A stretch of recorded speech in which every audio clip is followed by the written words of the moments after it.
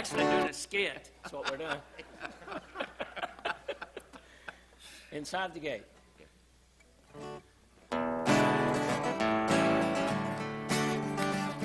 Oh, how happy I will be when life's journey here is run, and I look upon his face, and I hear him say, Well done. You have fought a faithful fight, and my child, you kept the faith. Enter now, my joys are yours, so just step inside the gate. Inside the gate. Just inside the gate. Inside the gate. Just inside the gate. Of my home. Just inside the gate. Sweet Just inside the gate. No more to cry. Just inside the gate. No more to die. Just inside the gate. A crown of life. Just inside the gate. Just inside the gate. You're safe Just inside the gate. Your sorrows Just inside the gate. A here. Just inside the gate. Forevermore. Just inside the gate. Yes, all of Just inside the gate. I'll hear him Just inside the gate. When I step Step inside the pearly gate.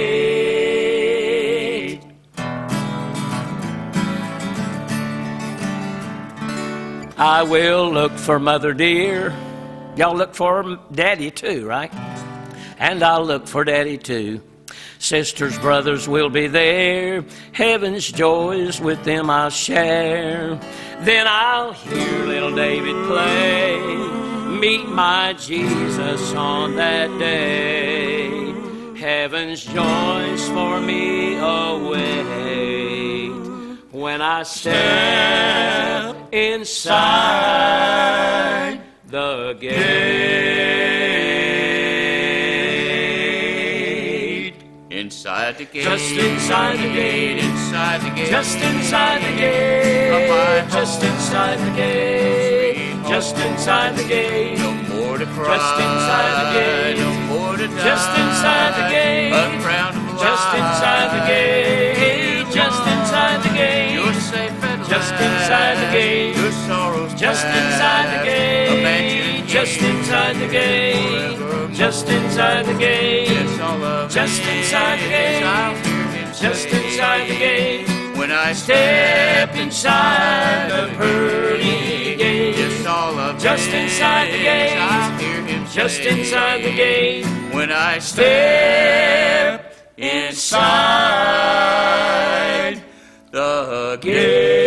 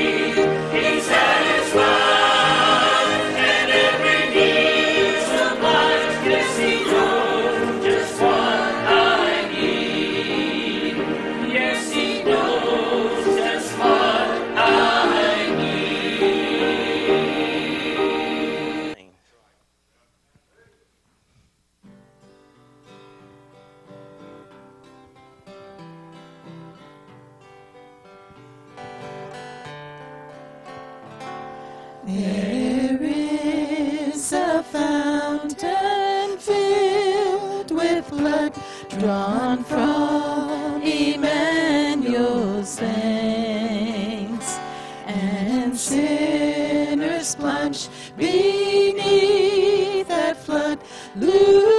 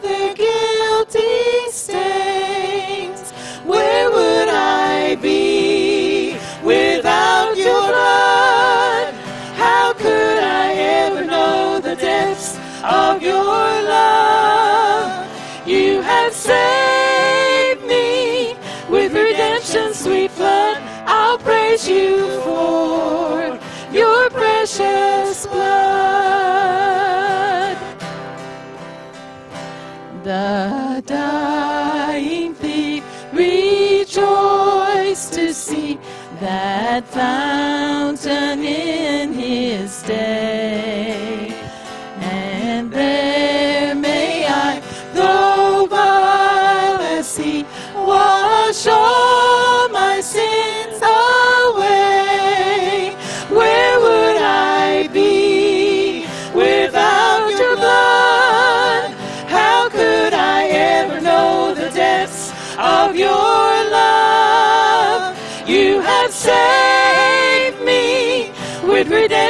Sweet flood. I'll praise you for your precious blood.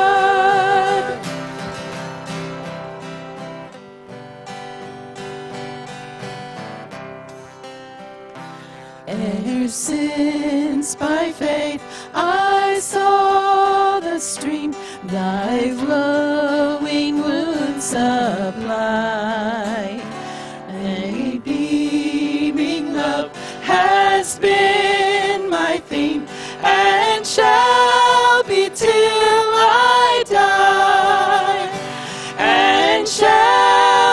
till I die, and shall be till I die. Redeeming love has been my theme, and shall be till I die.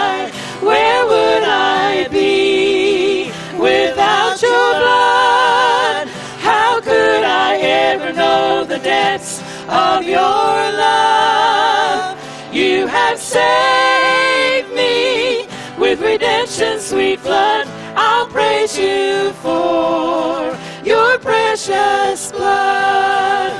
You have saved me with redemption's sweet flood. I'll praise you for your precious blood.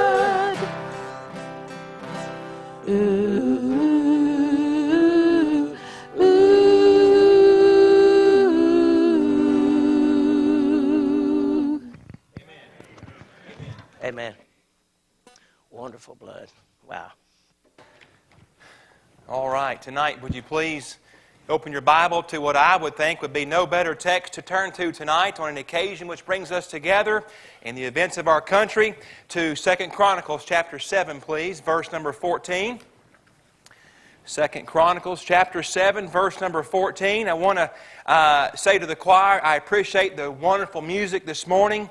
And I love the first song and the fourth song and the second and third song, too. They were all good. And uh, what a blessing this morning to be here and uh, again tonight. And uh, I want to say this also Terrific Tuesdays begin the first Tuesday in July. Uh, this coming Wednesday is the first Wednesday of July. We will have a regular service this Wednesday, but then the following Tuesday, it'll be Tuesday, Tuesday, Tuesday, Tuesday. And after that, uh, the rest of the Wednesdays we won't have a service, but this Wednesday we will, normal time. Uh, and then Tuesday we'll begin our Terrific Tuesdays, okay? And I want to make that clear in case anybody was wondering about that. Second Chronicles chapter 7, verse 14. Uh, I'm going to read it in just a minute. I'm going to read some more verses around it. Then we're going to come back to that verse at the end of the message tonight. And, uh, but I, I think, uh, I think it's very fitting for tonight. We look at this verse, what it means, and uh, what does it mean to us. I had a complete, total sermon prepared for tonight, but of course, what happened Friday changed our mind on that. And, uh, and so uh, we'll look at a few things tonight. I pray it will be a blessing to you. As a matter of fact, the, the, the idea for this message tonight came from, don't judge me, it came from Facebook. And uh, I saw a post, and the post said this uh, What is America's greatest need? And here was, I don't know who, I don't know who posted this or whatever, but here is what they said. This is America's greatest need. Uh, and the number one was impeach Obama. Number two was repeal Obamacare. Number three was prosecute Hillary. Number four was take the Senate. Number five was abolish the IRS. And I think, well, maybe those things, if they were to be done by, I, I think mostly tonight, I would think we're probably most of us tonight are conservatives, and we may enjoy those things to take place, and we may uh, actually cheer for those things maybe to take place. And, and if those things were to happen, we may be happy, but those things would not fix the main problem in our country. Uh, because these things, they may help America financially, and these five things may help America uh, politically and socially, but these five things would have no bearing whatsoever on America spiritually. Because spiritual problems can only be fixed by spiritual people. And so, who are the spiritual people? That's you and I tonight. And so I want to think about First Chronicles or Second Chronicles chapter seven, and that's kind of exactly what Solomon or what the writer of this, this book is talking about when God speaks to Solomon. And here's what God says to Solomon in Second Chronicles chapter seven, verse 14. I'm going to begin reading in verse 11 for context and read down to verse 22. Or emphasis is on verse 14. Second Chronicles chapter 7, verse number 11. Thus Solomon finished the house of the Lord and the king's house and all that came into Solomon's heart to make in the house of the Lord and in his own house he prosperously effected. So he'd finished building the temple, finished building his house, and it was time for a celebration in verse 12. And the Lord appeared to Solomon by night and said unto him, I have heard thy prayer and have chosen this place to myself for an house of sacrifice. If I shut up heaven that there be no rain, or if I command the locust to devour the land, or if I send pestilence among my people. If my people, which are called by my name, shall humble themselves and pray and seek my face and turn from their wicked ways, then will I hear from heaven and will forgive their sin and will heal, heal their land. Now mine eyes shall be open, and mine ears attent unto the prayer that is made in this place. For now I ha- have I chosen and sanctified this house, that my name may be there forever, and mine eyes and mine heart shall be there perpetually. Verse 17. Now he's going to get uh, personal to Solomon. And as for thee, if thou wilt walk before me as David thy father walked, and do according to all that I have commanded thee, and shall observe my statutes and my judgments, then will I establish the throne of thy kingdom according as I have covenant with David thy father, saying, There shall not fail thee a man to be ruler in Israel. Verse 19. But if you turn away and forsake and forsake my statutes and my commandments which I set before you, and, uh, and shall go and serve other gods and worship them, then will I pluck them up by the roots out of thy land, uh, out of my land which I have given them, and this house which I have sanctified for my name will I cast out of my sight, and will make it to be a proverb and a byword among all nations. And this house which is high shall be an astonishment to every one that passeth by it, so that he shall say, Why hath the Lord done thus unto this land and unto this house? And it shall be answered, because they forsook the Lord God of their fathers, which brought them forth out of the land of Egypt, and laid hold on other gods, and worshipped them, and served them. Therefore hath he brought all this evil upon them. Look back in verse 14. If my people, which are called by my name, shall humble themselves and pray and seek my face and turn from their wicked ways, then will I hear from heaven and will forgive their sin and will heal their land. With God's help tonight, I want to preach on this thought. Uh, what is America's greatest need? What is America's greatest need? Let's pray. Father, we thank you again tonight for letting us be in thy house once again. And uh, Lord, we look forward to the activities in a few moments. But until then, God, it's the most important time of this day. It's a time for your message. So I pray, God, you may allow the music that's been sung and the spirit that's in here today, Lord, just be the precursor to great things ahead. As we preach your word tonight, Father, I pray you may bless like only you can. Fill me with your spirit, God. Use me to be thy spokesman, Lord, for your word. I pray, God, you may bless the reading and preaching of your word. I pray, God, you may add your blessing to it. You may do what only you can do tonight in our hearts. We do pray in Jesus' name. Amen. I want to take a few moments now and I want to give us tonight, uh, I want to give us four things which are, in my opinion, not Facebook's opinion, but are what, in my opinion, are America's greatest needs. First of all, I think number one, America really needs leaders that are looking up. Leaders that are looking up. Contrary to popular belief, America, we were established, we were founded on biblical principles. And they'll say, well, no, we come to America to make money, or we come to America to establish our homes, and all that may be a benefit of coming to America, but America was established and founded based upon biblical principles. Because there was a day, folks, when our leaders, when they did look up to heaven, when our leaders, they, they, they, they let God be in charge and they looked to Him and His Word for guidance. Uh, there was a day when the Bible was the very center of all decisions made by our leaders and, and by men who ran our country. They based what they wanted to do in our country by, Thus saith the Lord. There was a day when even the Supreme Court allowed the Bible to, uh, to affect their decision making. There was a day when, the, here's the difference, when statesmen in our country looked to the God of heaven for guidance. And there was a day when America flourished. It's no coincidence, the Bible says in Psalm 33 12, Blessed is the nation whose God is the Lord. I want to give you tonight uh, a few quotes by the statesmen that our country used to have.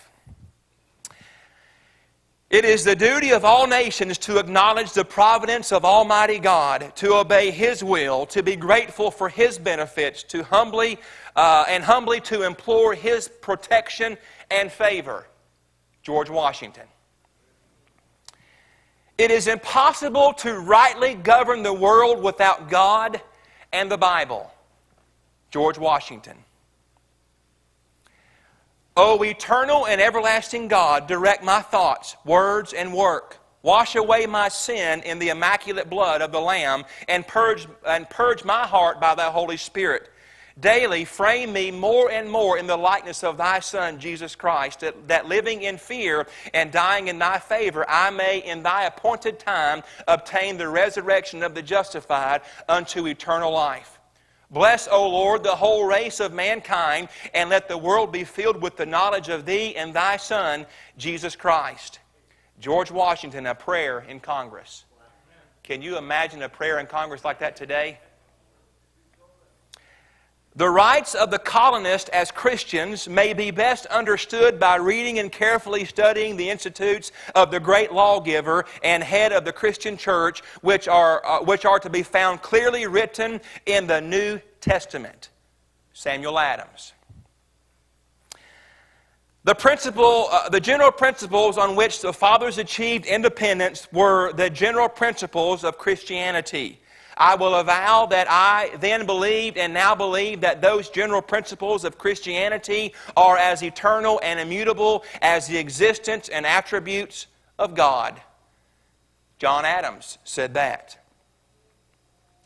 It cannot be emphasized too strongly or too often that this great nation was founded by religionists, but uh, not by religionists, but by Christians. not on religion, but on the gospel of Jesus Christ. Patrick Henry. Uh, God, who gave us life, gave us liberty. Can the liberties of a nation be secured when we have removed a conviction that these liberties are the gift of God? Indeed, I tremble for my country when I reflect that God is just, that His justice cannot sleep forever. Thomas Jefferson. The Bible is the rock on which our republic rests. Andrew Jackson. Let me say it again. There was a day, folks, when our leaders, when our congressmen, when our president, when our Supreme Court, when they looked to the God of heaven, but I'm sad to say that those days are far behind us. Now our politicians aren't looking up. They're looking here for what they want to be said, looking here for what they want to be said, looking here for what they want to be said, and can care less about God and what God says. Listen, our country was founded upon the Bible and upon God's Word and upon the principles of this book. I don't care what the liberals say or what the, the, the New Age movement says. We are, in fact, a Christian nation, like it or not. But our, but our politicians today are a little bit different. Bear with me, please. Here's some more quotes, a little more modern. That experience guides my conviction that partnership between America and Islam must be based on what Islam is, not what it isn't. And I consider it part of my responsibility as President of the United States to fight against negative stereotypes of Islam wherever they appear. President Barack Obama. I also know that Islam has always been a part of America's story. President Barack Obama. Whatever we once were, we are no longer a Christian nation. President Barack Obama. And this one to me is the sweetest sound I know is the Muslim call to prayer. President Barack Obama. We can't let an archaic writing such as the Bible get in the way of progress. Senator Harry Reid. I just uh, make up scripture. If God opposes them, then he can just sue me. Nancy Pelosi. I hear the grumbling in your voices tonight. Just another way of saying this there was a day, folks, when our leaders looked up. And our leaders looked towards the Bible. And it was also no coincidence whatsoever that it was also a day that our country flourished and that our country was number one in the world and our country topped the world in every category. But today it's not like that. Today our leaders are looking uh, at, some, at some poll or looking at what some book they read, looking at what, uh, what makes them look good and, and sound good. And can you imagine today that if our founding fathers ever dreamed of the day in which the United States of America politicians would revoke right to, to, to, to wave a certain flag, but it's okay to stomp on the American flag. Can you imagine a day?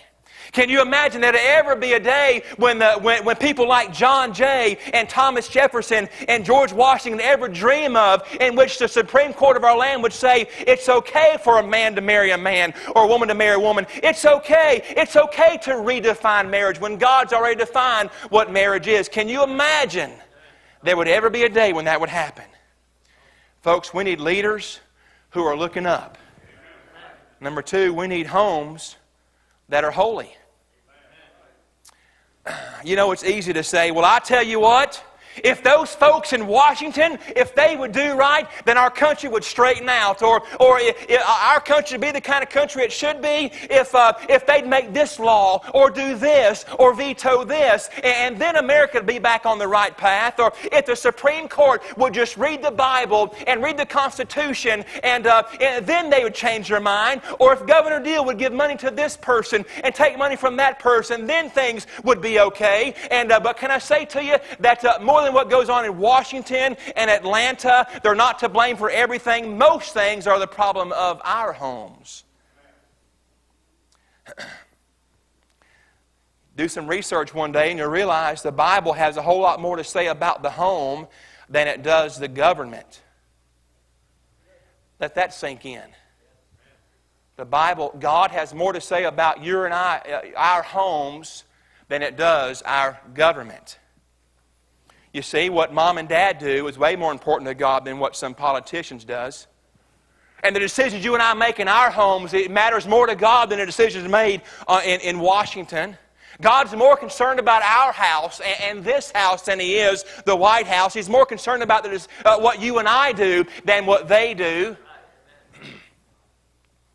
No matter how far our society slips away from the principles of the Bible, you and I, who claim to follow God and His Word, you and I have the responsibility to operate our homes according to Thus saith the Lord. No matter what su- the uh, Supreme Court says, no matter what Washington says, you and I have a duty, a responsibility, a calling to run our homes according to Thus saith the Lord.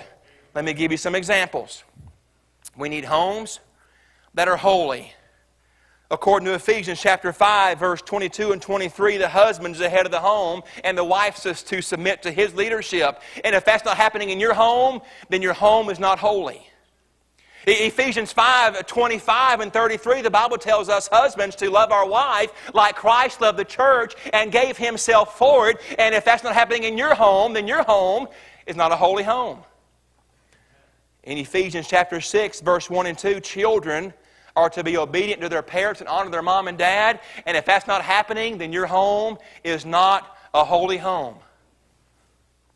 According to Deuteronomy chapter 6, we parents are to be teaching our children the Word of God by word and by deed. And if that's not happening, then your home is not a holy home. According to Joshua 24, uh, uh, uh, we as fathers are to determine for our family that come what may, we're going to serve God. And if that's not happening in your home, then your home is not a holy home.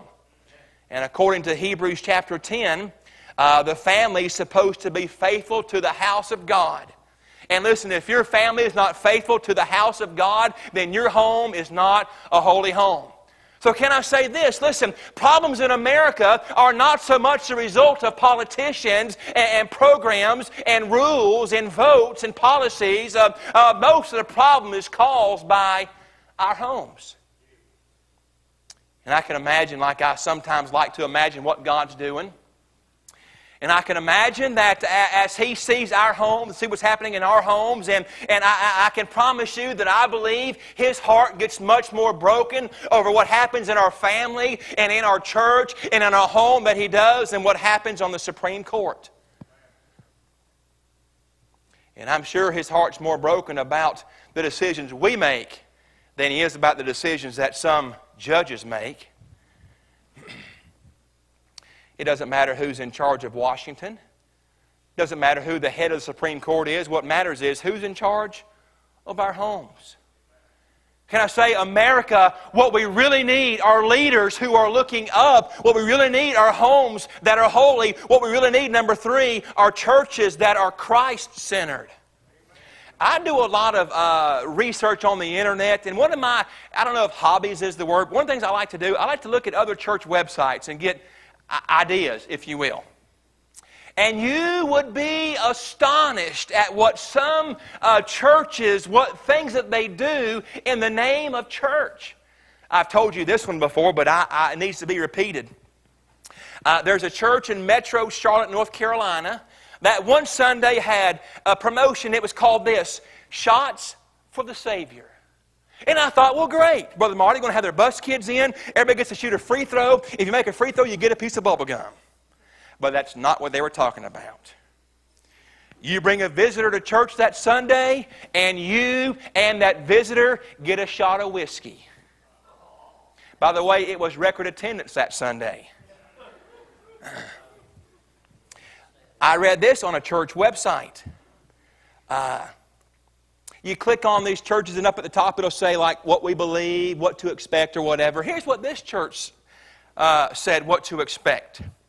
We want you to feel comfortable at our church, so there is no dress code.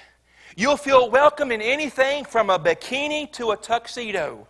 We're not here to judge you, we're here to help you. Here's another one. Uh, the, it's from another church. The Bible is optional. We may or may not even open the Bible. Our pastor's talks are really relevant, so his stories may have nothing to do with the Bible. now, here's another church, a very large church. If I said the man's name, you would know him. He's here in metro Atlanta. And here's what he said about his church Doctrine is not that important here at blank church. Our worship experience begins and ends with music. If I change our doctrine, it would go unnoticed. But if I change our music, our church would cease to exist. a very famous preacher, and if I called his name, you would know him. He's on Fox News a lot. He's been interviewed by all the, the big interviewers. He's made millions of dollars writing books and all that kind of stuff. And here's what he said What is sin to one person may not be sin to another person. What was sin 2,000 years ago does not necessarily mean that it is still sin. After all, if God doesn't want us if God doesn't want us to do certain things, then why don't He just get rid of those things?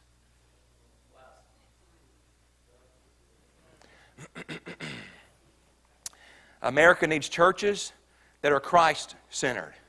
And there's too many churches that have gone the way of the world just to get a crowd, just to get 10,000 people come in and put money in the offering plate. They'll do whatever. They'll have a rock concert. They'll do this. They'll give out whiskey. They'll do this and do that just to get a crowd. But can I say to you, when you go the way of the world and you forsake your Bible just to get a crowd, you don't have a church. All you have is a crowd. Because I, I, believe this 10 people with the right doctrine and the right purpose can get more, for God, more done for God than 10,000 people can with no purpose and no doctrine. But we complain about what other churches are doing. And uh, listen, and we can't do one single thing about what such and such community church is doing. Our concern is our church. And can I say this tonight? I don't know uh, who your next pastor would be after I'm long gone, but I do know this as long as I am the pastor, we're going to say, as much as within my power, we're going to stay centered on Jesus Christ. And we're going to do all that we can do to make sure the gospel gets to the uttermost parts of the world according to the Great Commission. And we're going to do all that we can do to keep those buses running down there to pick up boys and girls and bring them to church so they can hear about Jesus. And we're going to do all that we can to have music that honors God and speaks to the heart before it speaks to the flesh. And, and we're going to continue using the King James Bible in every Sunday school class, in every pulpit, uh, as long as I'm around, and no other version's going to be tolerated.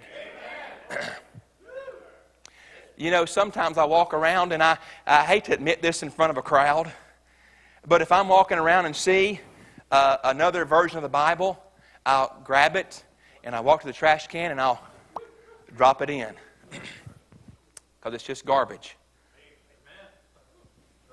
We're going to do all that we can to preach salvation by grace through faith given to us by the blood of Jesus Christ. And we're going to preach against things that are wrong and preach to things that are right. We're going to keep on encouraging and training and doing all that we can to make sure that this generation knows where there's a church where the gospel is preached. And as much as it breaks our heart about where some churches are today, our business is what happens right here at 1410 Valley Hill Road. We can't do anything about what those churches are doing, but we can do something about what our church is doing, and our church must stay Christ centered because that's what America needs. Number one, we need leaders that are looking up, we need homes that are holy, we need uh, churches that are Christ centered.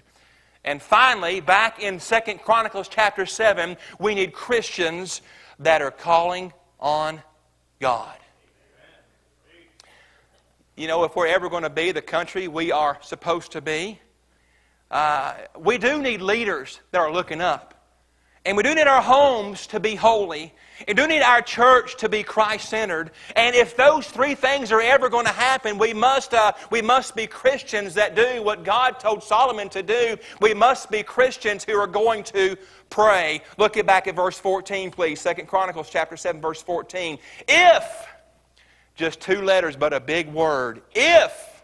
In other words, there's a, there's a, there's a possibility that if not. If God says, I'll do this if we Christians do this. If my people, which are called by my name, shall humble themselves and pray and seek my face, God says, and, and turn from their wicked ways, and, and uh, then I will hear from heaven, will forgive their sin, and will heal their land. There's a proper order to having restoration in America. And it begins with you and I, who are God's people, praying and seeking His face. You know, our country is out of hand, but God's still in control. And it may be, listen, it may be, church, that God's just waiting for you and I to spend time on our knees praying for restoration of our country. Listen, America's being controlled by Satan, the God of this world. Uh, but listen, but help for America is just a prayer away. I want to close with this tonight. Uh, my sister emailed me this about three months ago now, and I saved it for a service much like this. remember that our country right now is being controlled by Satan. I believe that with all my heart. And uh, she emailed me this. She actually emailed me a video, and I had to go and try to find the words written down so I could read the words. I didn't want to show you a video. Uh, believe it or not, this was a speech given by Paul Harvey in 1965, 50 years ago. This speech was, was, um, was said or was read or whatever. And he, is, he was 50 years ago, if my math is right, 50 years ago, he's warning America uh, about some things. And, and as I read this, it is going to be uh, uh, astonishing how he hit the nail on the head. And I don't know if Paul Harvey was a Christian, I have no idea, but I do know he's very wise.